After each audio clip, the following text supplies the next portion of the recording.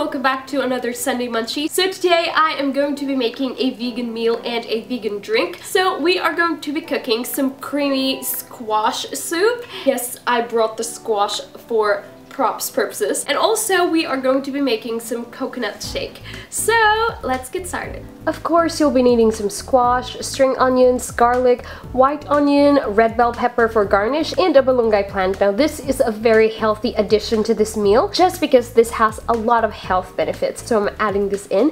And if you don't have this, you can totally skip this part. And of course some sweet basil and some fresh organic coconut milk. And we are going to cook everything using olive oil.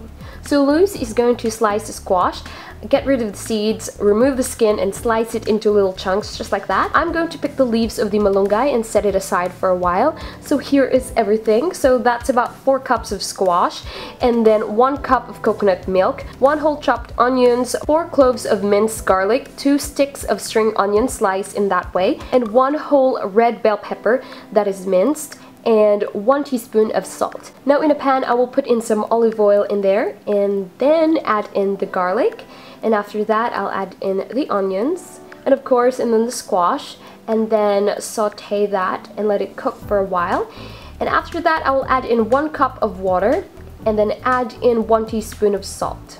Close the lid and let it cook for about 10 minutes until the squash softens. Now you just have to keep checking back if it's done.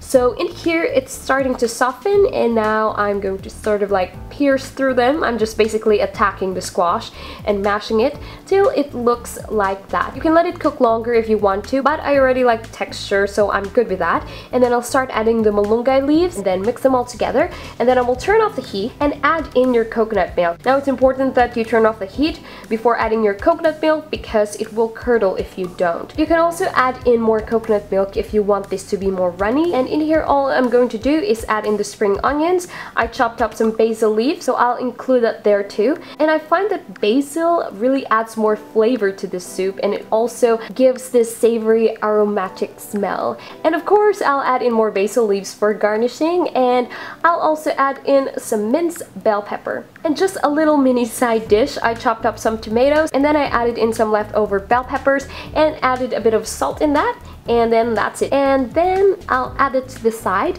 and here it is.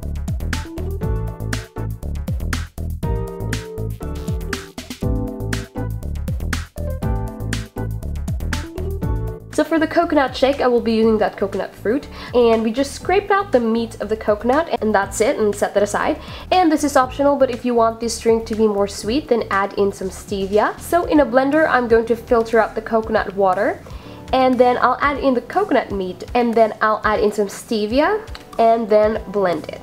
Now once that's done, go ahead and transfer that into any container that you have. And you can also add in some ice if you want to. And that is it. This coconut shake is actually one of my favorite drink coolers to have, especially in this crazy hot summer season here in my country. And this is pretty healthy as well. And all you have to do is add in some straw and you are ready to serve. And you can also eat this whole meal with rice. Because what is a meal without rice, right?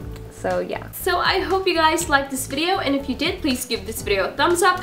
Also, let me know in the comments down below if you want more healthy foods or if you want more vegan recipes. Also, please do share this video if you like it.